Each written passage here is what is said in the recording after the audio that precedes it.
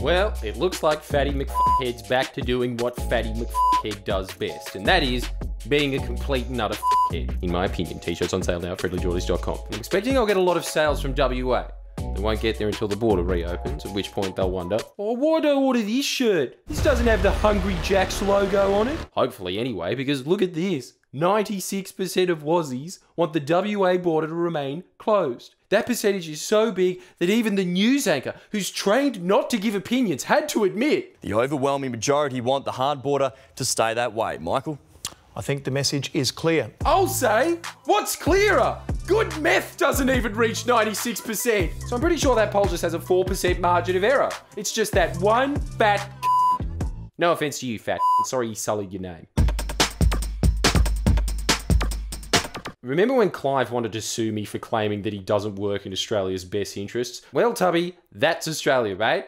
Half of it anyway. Clearly, their interest is not having your snoring while you're awake faulty nose up in their state's business.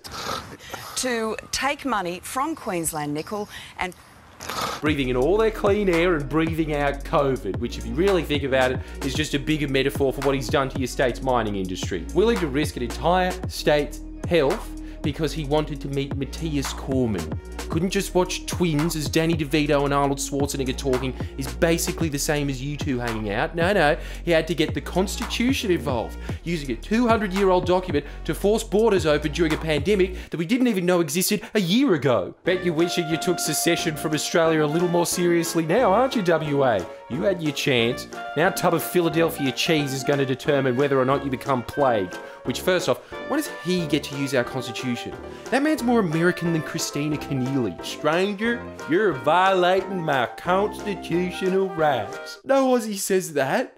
No Aussie self-obsessed enough to even know what our constitutional rights are. The only reason I'd ever care what's in our constitution is if it said, Hey, according to the charter, as chief constable, I'm supposed to get a pig every month and two comely lasses of virtue true. Sorry, can we all just appreciate the phrase two comely lasses of virtue true?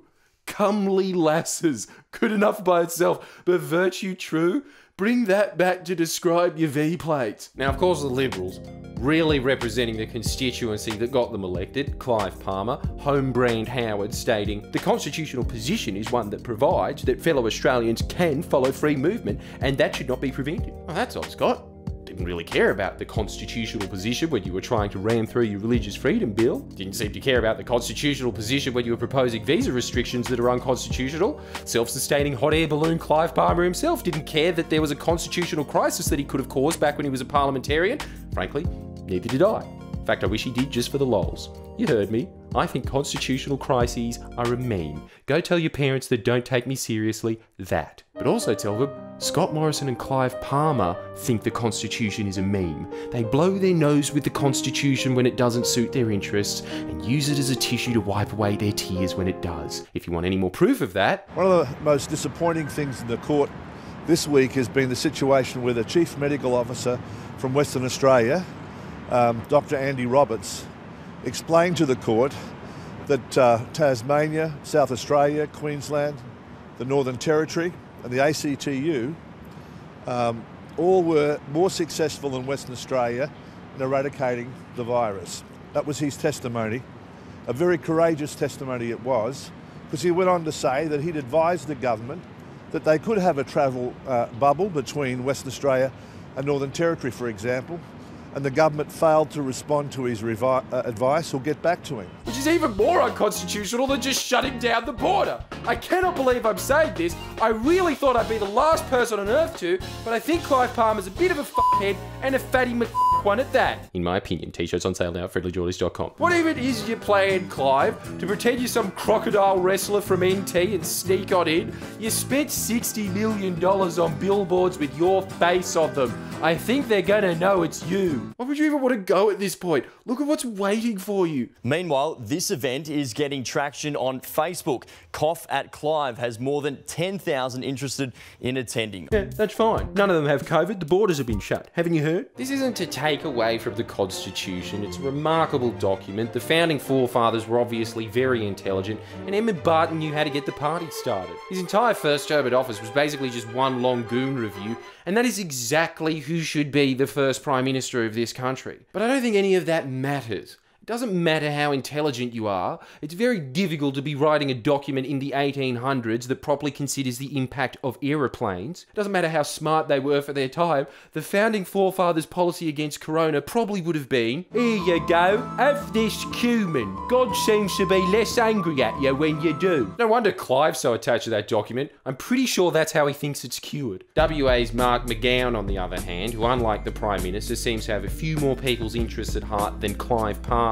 stated they can come up with all the arguments around constitutional niceties they like and the constitutional requirements for them to intervene. Frankly, they're doing the wrong thing. Well said, my impression of him, but not as well said as this. Mr Palmer is the enemy of the state. He is the enemy of Western Australia. Those are strong claims.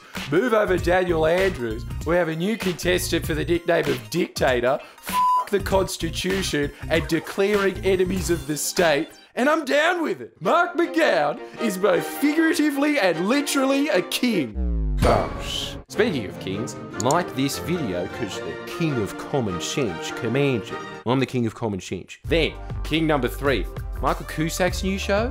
The man keeps outdoing himself. I thought he peaked when he drew those looking kids in plasma. Look at that one. He's a fucking hockey puck. But his new show, even better animation than that. King number four, King Curve. And it again, pointing out that the ABC should stand for a bunch of cucks gutless pricks who won't even air the documentary BBC put together outlining the power of the Murdoch press.